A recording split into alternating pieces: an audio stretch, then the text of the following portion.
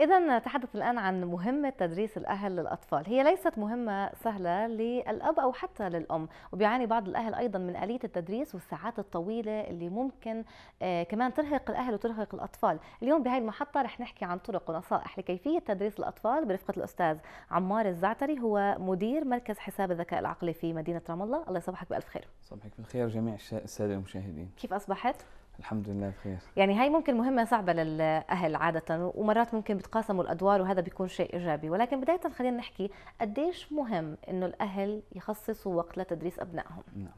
طبعا هو بصراحة بداية المناهج صراحة طبيعة المناهج الموضوعه حاليا عندنا طبعا فيه عليها كثير خلينا نقول بحاجه كثير يعني تربويين بيحكوا إنه بدها اعاده يعني مراجعة إنه فيها ضغط خلينا نقول آه، زائد أو ضغط كبير على الأطفال. عشان هيك صار واجب كبير على الأهالي إنه يساعدوهم. لو إنه المناهج أقل شوي أو هاي كان ممكن تصير أقل. ولكن أصلا مطلوب من الأهالي يتواصلوا مع أبنائهم بالتدريس والدراسة حتى يضل التفاعل موجود أصلا بينهم. هلأ المناهج حاليا الموجوده بتفرض على الاهل إنه يدرس لأنه حجم المنهج كبير في مفاهيم عالية. آه، عشان هيك حتى يعني الطفل لحاله كبداية إحنا نبدأ. طبعا نبدأ لما نبدأ من الروضة. الروضة بالاصل إنه يكون دراسة خفيفة الأهل دورهم إنه يشجعوا ويوجهوا بشكل رئيسي. الدراسه حقيقية تبلش من الصف الأول وهون مطلوب من الأهل طبعا إنه يبلشوا يساعدوا الإبن في التدريس والدراسة حتى يبنوا فيه الاعتمادية. حتى لما يصل لقدام صف رابع وخامس وسادس بلش تقل الاعتمادية على الأهل تدريجيا ولكن لسه الطفل صف أول لسه المدرسة بالنسبة له جديدة كل الأمور. خلينا نعلق على الجواب إنه هل يعني أنت آه، بتقول إنه الأهل يدرسوا أبنائهم بناء على إنه المادة آه، بتحتاج لوجود الأهل ولا لأنه دائما الأهل لازم يكونوا نعم. شركاء في البداية نعم. في المرحلة الأولى؟ هو بشكل طبيعي الأهل لازم يكونوا شركاء في كل شيء في التدريس وفي الأكل وفي الترتيب في كل شيء. يعني حتى يبنوا إحنا دور الأهل تربية في النهاية. هي آه، توجيه الأبناء وبناء قيم عندهم وبناء قيم علمية بناء قيم حياتية مجتمعية. فالأهل لازم يكونوا موجودين دائما مع مع اطفالهم ولكن هون أنا كثير بحكي الاهل مش بدور أوامر أو تصل أو يعني مرشد مستمر لا مرشد مساعد. حتى الولد ينبنى في هذه المهارات. والمناهج اليوم كمان تفرض علينا نعطي وقت أكثر يعني المفروض مثلا الدراسة ياخذ ساعة لساعتين اليوم تفرض مناهج على الأهل انه يقعد مع ابنائه وخاصة كان عندنا عدد بتحكي عن ثلاث أربع أو خمس أبناء صار مطلوب من الأم هي المسؤولية الرئيسية حاليا على الأم المفروض إن الوالد يساعد ولكن صار يتطلب منها تقعد أربع أكثر من أربع أو خمس ساعات تدرس الأبناء. طب وهون بدنا نسأل عن موضوع التدريس. هل يعني بفكر بس الأم بدها تيجي تدرس الأبناء والأب كمان يعني هي المفروض تكون يعني بالتساوي أكيد. بشكل أساسي يعني آه، هل الأدوات والطرق اللي ممكن يتبعوها هي ذات الطرق والأدوات اللي بتتبعوها بالمدرسة ولا الأهل لازم يفكروا بطرق مختلفة وأدوات مختلفة نعم. للتدريس هي بصراحة الأدوات لازم تكون متنوعة في المدرسة وفي البيت مه. وهذا إحنا بنطالب حتى المدارس نفسها تنوع في أساليب التدريس والأهالي برضه يكون عندهم خبرة في أساليب التدريس ممكن تكون قريبة أو مختلفة ولكن المهم هون شو الأدوات أدوات تعتمد على نفسية وعقلية الطالب الموجود ولهذا ممكن نحكي فيه شوي إنه أنا لازم أفهم ابني كيف يعني كيف بفكر كيف بيستقبل المعلومة. وهذه للأسف كثير غايبة عن الأهالي وحتى أحيانا المعلمين. طب كيف يعني؟ نعم. هلا يعني أنا بدي أحكي. إحنا يمكن في لقاء سابق تذكر حكينا عن أنواع الذكاءات. هلا في قضيتين مهمات لازم الأهالي يعرفوها وحتى المدرسين اللي بيسمعونا. هلا في في العقل آه، طريقة لاستقبال المعلومات بناء على الحواس. إحنا حواسنا الرئيسية سمع وبصر وإحساس. هلا وجدوا اليوم محاضرات حديث إنه المعلومات تتخزن في الدماغ بناء على هاي الحواس. هلا في أشخاص بيكون تركيزه بصري. يعني بركز على حاسة البصر أكثر هذا الشخص طريقة دراسته بصرية يعني لازم يكون في صور لازم أي شيء بده يحفظه أو يفهمه لازم يشوفه على شكل صورة. ما بيقدر يستوعبه بطريقة نظرية. الشخص اللي طريقة دراسته أو شخصيته بسموها سمعية هذا بركز أكثر على التفاصيل مش على الصور على التفاصيل وعلى الكلام. الشخص الحسي وهذا التصنيف يعني أنا في دورات التنميه البشرية بنصنف الأشخاص ثلاث أنواع. بصري سمعي حسي. الشخص الحسي أو الطفل الحسي جزء كبير من دراسته تكون فيها راحة نفسية وفيها مشاعر وفيها حنية ومحب حتى يستقبل المعلومة. وأنا كثير المدرسين يعني لما يسمعوا هاي المعلومة بيقولوا في طلاب ما بيقبل يفهم الدرس إلا المدرسة أو امه تقرب عليه وتحط إيدها عليه تشعره بنوع من الحنان. هذا طبيعته حسي أو بنسميه إحنا عاطفي. هذا هذه أول طريقة في استقبال المعلومات بصري أو سمعي حسي. إذا عرفت أنا ابني بصري معناته لازم أعمل له صور أخليه يرسم الدرس. السمع لازم خليه يكرره يسمعه يسجل صوته. حلو. طيب هاي يعني هاي شيء جميل يعني نعم. كيف أنت قسمتهم كيف كمان إنه أكيد كل شخص بيعتمد عليه ولكن هل بعمر صغير وبنحكي عن صف أول بنقدر نقيس هاي المعلومات نقدر نميز إذا الطفل رح يميل للسمع والبصر كيف ممكن تساعد الأهل هلا؟ تحكي لنا كيف طرق ممكن تساعد الأهل إنهم يعرفوا اطفالهم نعم. ويفهموا اطفالهم نعم. طبعا إحنا إحنا قلت لك في قضية ذكاءات حتى ما هي. يعني إنه في عندنا ثمان أنواع من الذكاءات منها بصري وسمعي وموسيقي وحركي بتدخل في الأساس لطريقة التفكير العقلي هلا عادة الشخص البصري الأهل بحسوا الشخص البصري يكون عنده ميل للرسم بحب يشوف الصور بحب يشوف صورة الدرس. وهذا الشخص إذا كررت له كثير ما بيحفظ. يعني بتلاقي بعض الأهل بيقولوا لي ابني مش راضي يحفظ. هذا بكون شخص بصري.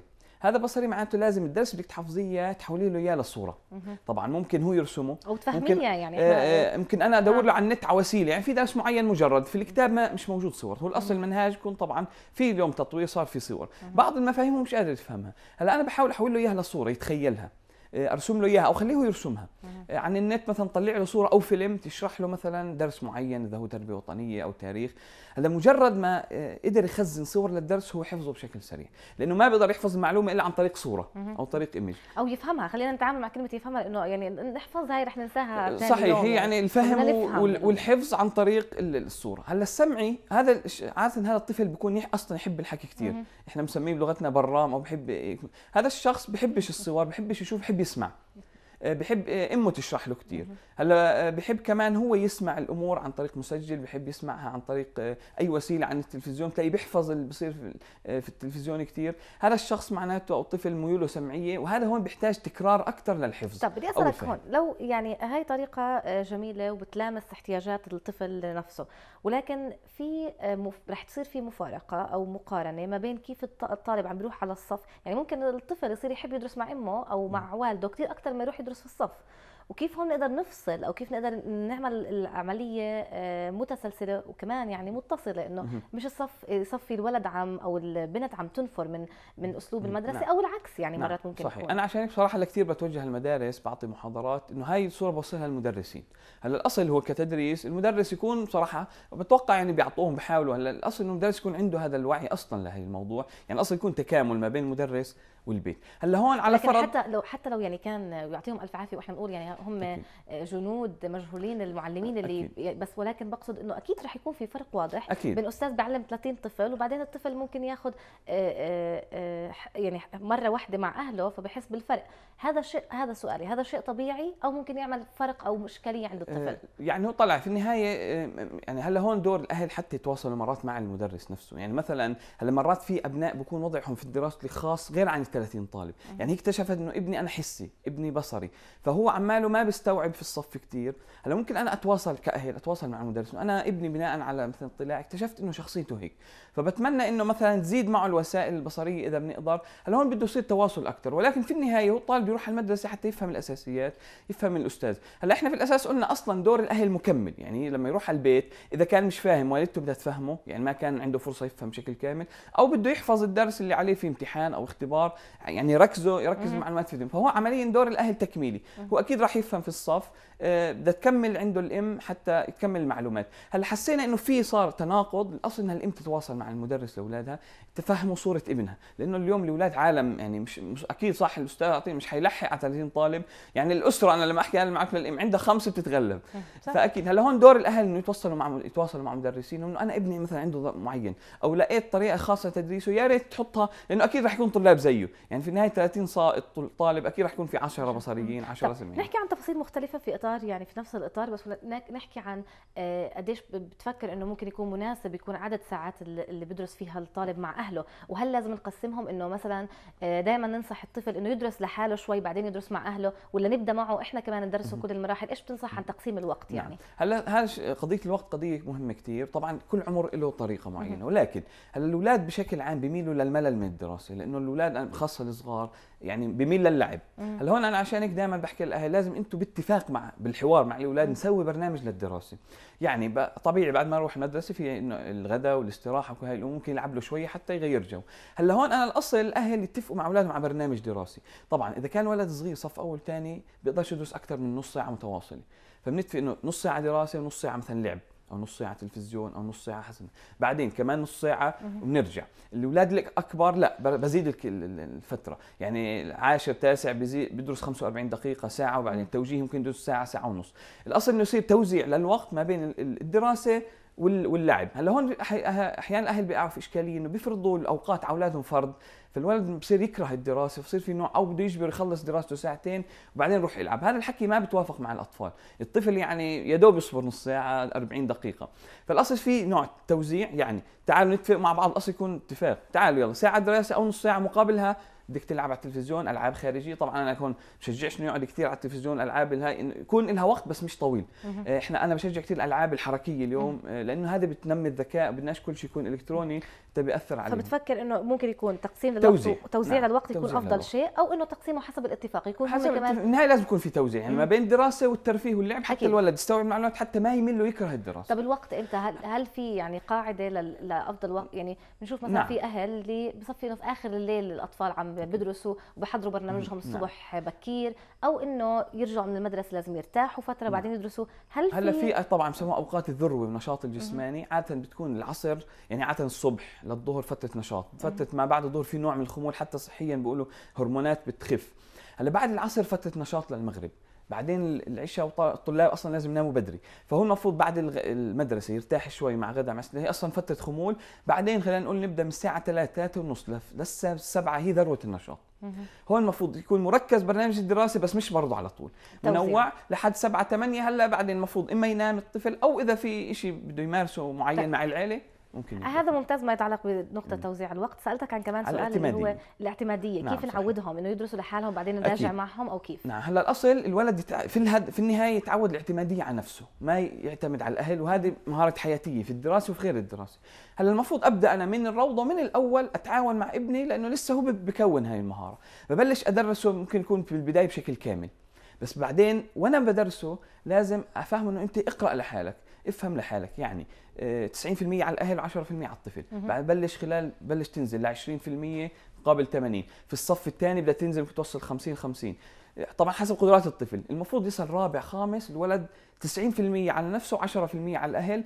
بعدين بصير دور الأهل بس توجيه. ممتاز. إنه هذا في يعني خط آه، نعم. حد فاصل ما بين إنه الطفل كمان يتعود على آه، إنه يعتمد على أهله بشكل كامل أو حتى يدرس يعني آه، بشكل منفرد. فهي مهم ينتبهوا عليها الأهل بشكل ضروري جدا لأنه بصير يعانوا بعد فترة. إذا ما عودوا يعتمد على نفسه بصير كله بده أهله يدرسوه طيب ممكن أسألك عن موضوع اللي يمكن كثير منا بيسمعوه أو الأهل حتى بيميلوا له يعني في محفزات عادة نعم. بتكون. صحيح. بس مرات المحفزات بتكون سلبية على سبيل المثال إنه ادرس منيح لأنه شوف أخوك قديش جاب أو اسمع ابن فلان قديش جاب نعم. فإنه أنت لازم تدرس نعم. منيح. هاي ال... هاي انواع التحفيز يعني كيف بيكون المحفزات ممتازة جدا بس ما تكونش مقارنة. اسوء شيء بيلجأ له الأهل أو أحيانا المدرسين إنه يقارنوا بشيء. ليش؟ لأنه كل ولد قلنا له قدراته له إمكانياته. ممكن يكون هذا لما حكي نحكي عن نظرية الذكاء ممكن يكون هذا شاطر بشيء بس اكاديميا شوي أضعف من غيره.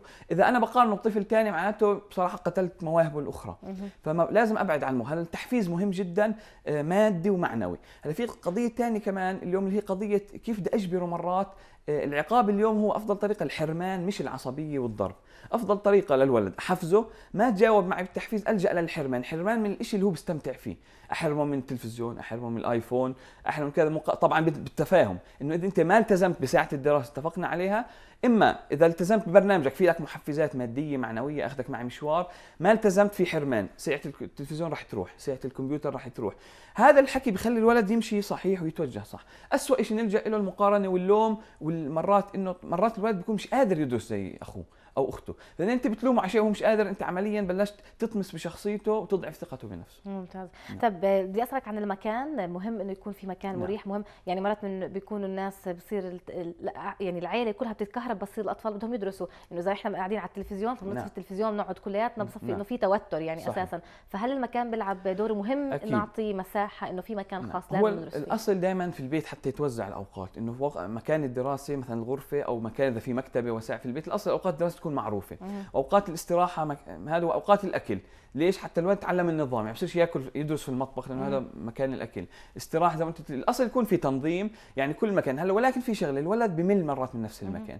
مش غلط إني أغير له المكان بس ما يكون هو الأساس. يعني شفت ابني مل ساعتين في الغرفة أو ساعة ونص أخليه بمكان ثاني بس ما يطول بس الأساس إنه في غرفة دراسة إما غرفة دراسة أو غرفته حتى يصير يصير في نوع من النظام عند الأطفال. أنا بدي أشكرك على كل هاي النصائح بتخيل إنها كانت مفيدة لأنها كمان تفصيلية وبتمنى تكون كمان ساعدت الأهل لأنه كثير من الأهل بيعتبروا إنه هاي فعلا إشكالية بواجهوها وما بيعرفوا كيف كمان يتعاملوا معها. شكرا لك وبتمنى أكيد كمان نشوفك محطات قادمة عن موضوع مفصل عن مواضيع مفصلة في ذات آه، الصلة. شكرا, شكرا. لك ونهارك سعيد. شكرا المشاهدين. شكرا. رح ننتقل إلى فاصل ونستكمل محطاتنا في أخبار منوعة. بفقرة نت نيوز كونوا معنا.